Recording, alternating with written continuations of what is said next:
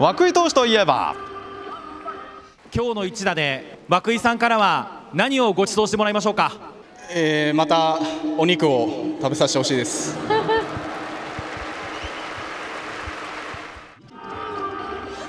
後輩選手からご飯のおねだりをされることも多かった今シーズン。ということで。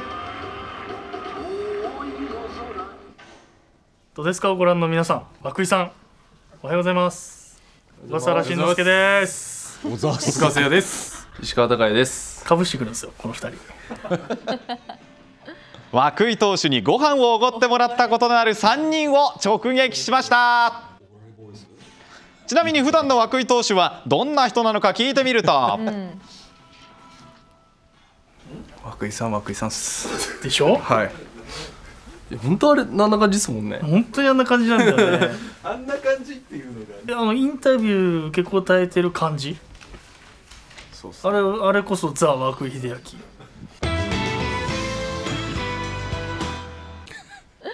めっちゃ周り見てますよね。すごい確かに。はい。ご飯とか今何杯目でしょとか。お肉食ってないじゃんと結構かね全然食ってないとかご飯何すごいっす。杯目だよね次の日とか昨日いつも食べてなかったねとか違う人に言ったりとか。あんま食べないねとか。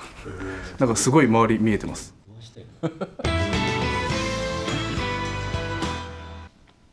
スタジオにいる涌井さん。朝早かったと思いますけどどうでしたか？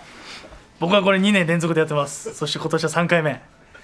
僕には勝てないですよ。ぜひ楽しんでてください。涌井さんおはようございます。まあ僕はまだ寝てるかと思いますが、えーテレビ、まあ、まずは見れるように起きれるように努力します。またご飯お願いします。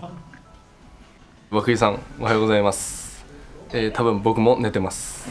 えー、まだあの浜田さんの時に打ったホームランのご褒美のステーキ行っていないのであのもう忘れてないとは思いますがそっちよろしくお願いします。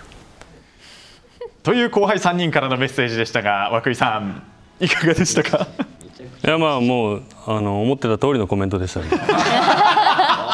結局最終的にはおねだりされてるんですね。